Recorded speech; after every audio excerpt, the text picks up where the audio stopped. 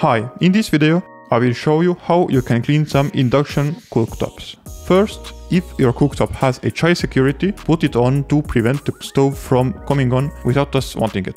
Then apply some baking soda on the stove, pour some vinegar over it, and the chemical reaction that's taking place will allow us to break down the fat molecules from the glass.